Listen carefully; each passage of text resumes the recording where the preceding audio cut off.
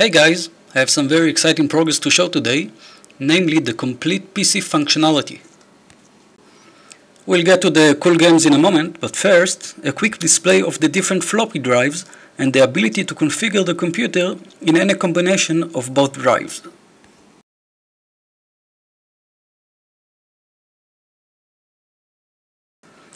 As you probably noticed, we have some of my favorite adventure games represented by virtual floppy disks, each with its own label and color.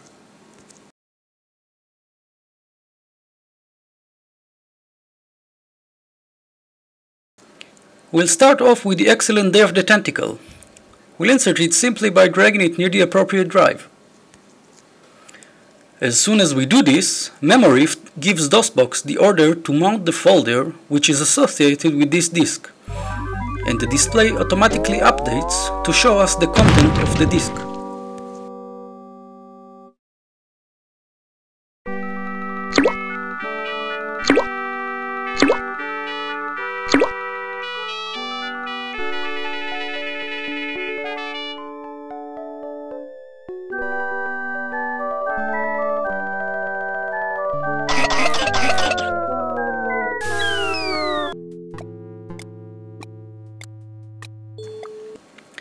Once we are fed up with Day of the Tentacle, which never happens, we can eject the disk and MemoRift proceeds to unmount it.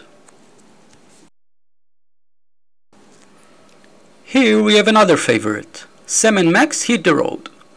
We could stick it into the drive in the same manner and play.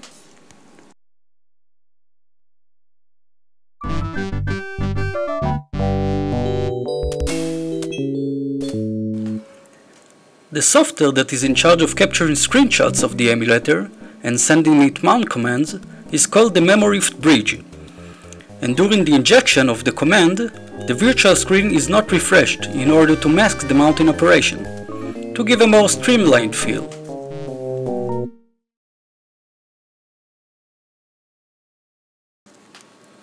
We've saved the best for last, the first of probably the best adventure game series of all times, Monkey Island.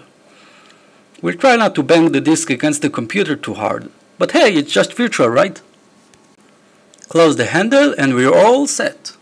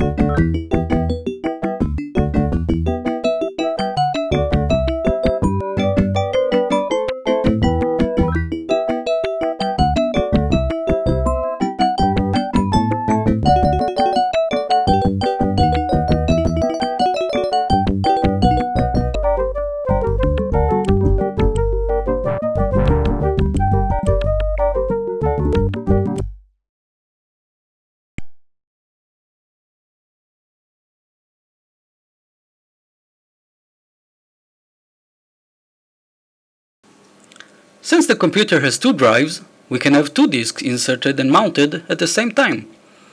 And of course, we can modify the data inside each disk.